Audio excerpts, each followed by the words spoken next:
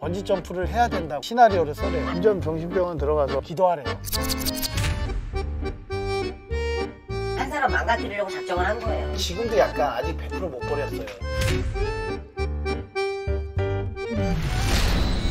이게 참 드라마틱해요. 여자를 만나요. 7년 동안 만났는데 세네 번밖에 못 봤다는 게 현실적으로 이해가 안 가는 거예요. 네네.